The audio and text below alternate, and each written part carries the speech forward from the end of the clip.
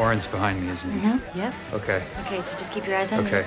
Don't panic because you can smell fear. What do just I- keep talking to me. Hi. Hi. How are you? Good. How are you? How's the wedding? Run.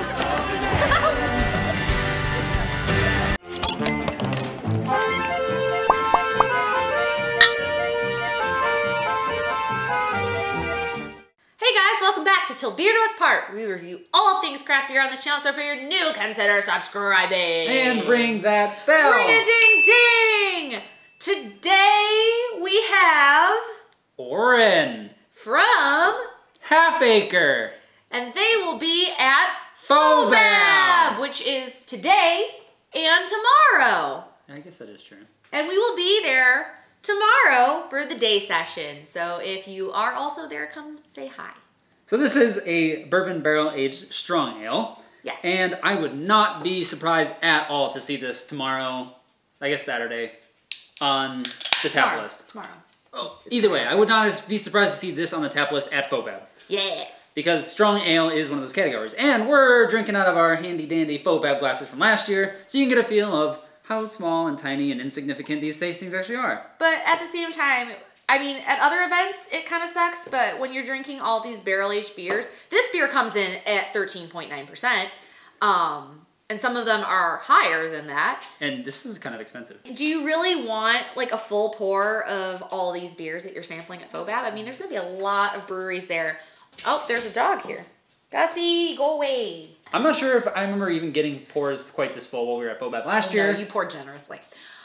I think Um, they're usually about half this size. This is a nice chocolatey brown color. Not a lot of head, Yeah. khaki in color. It though. said strong ale. It kind of just looks like a nice brown ale. Really. Yeah, it really does. Although I can smell it, I don't even have it. Like I have it just lightly under my nose. It looks very walnut-like. nutty. Sniff. Bourbon. surprise, surprise! It smells like a barrel thing. Wood. Oh, I don't know if I'm gonna like this, you guys. There's a little bit of cinnamon to it. Yeah, it's kind of yeah. It's got like a spicy spiciness with the bourbon.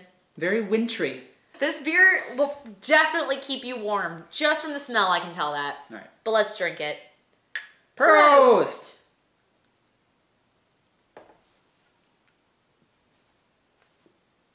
It's just very intense, like camping. It's actually kind of nice because it's not too cold. Oh no, I got Usually, it. like a beer like this, you'd want it to warm up, but we got it at the perfect temperature. Why do we keep doing this in this video? This is very intense. Like, there's a lot going on here. Mostly bourbon, but also other things. It just hits you right in the feels, in the face, in the balls. I'd say for sure, bourbon overwhelmingly most powerful flavor. I do get a little bit of that cinnamon, kind of woody, barky. Um, Definitely got a lot of barrel character. yeah, charred, some coffee. I get a lot of sweetness, probably from the bourbon. It's pretty sweet. Boozy as fuck. Boozy as fuck.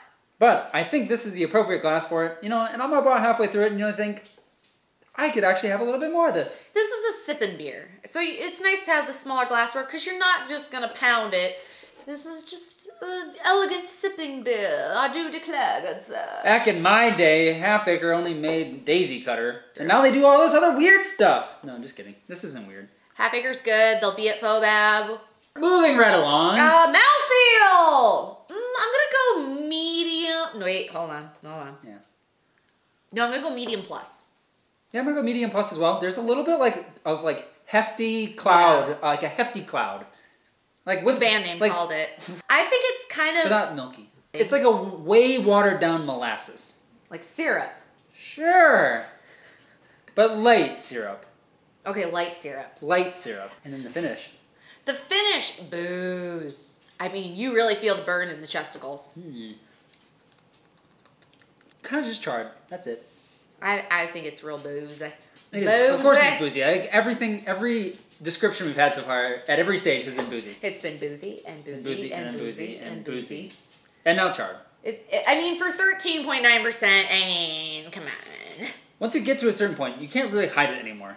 Ratings! I don't have anything clever to say. Ratings! Because it's a strong ale, I think I might go gold with this. Ooh. It's very, very tasty. Strong ale does not get a lot of love, and I think it's well executed. My one beef being like, I think you would actually get more enjoyment out of it if they had brewed it intentionally as like slightly lower ABV. But overall, very, very tasty. Good flavors. Vanilla. I'm gonna give it a silver. I appreciate them doing something different, like Dan said with the strong ale. They don't get a lot of love, but it's a little too bourbon boozy for my taste. So it's just gonna get like I, I enjoyed the experience. I don't think I need it again. All right, guys, that was our review of Orin by Half Acre. We hope we see you all at Fobab this weekend. If you see us there, come say hi, but don't. All right, for Lager, for Porter, and Bottles Are on Draft, we're your favorite couple for all things Barrel aged. Fobab? No, for all things barrel aged. Okay, fine. Different strokes for different folks, as they say. Yeah, it's dirty. Is it? Different strokes for different folks. Sure. I'll explain it to you later. Okay.